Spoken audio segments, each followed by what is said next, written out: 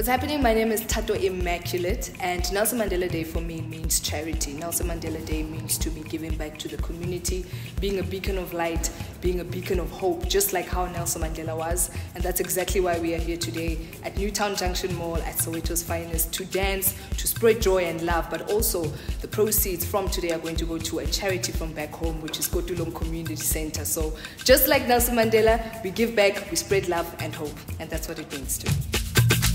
Thank you.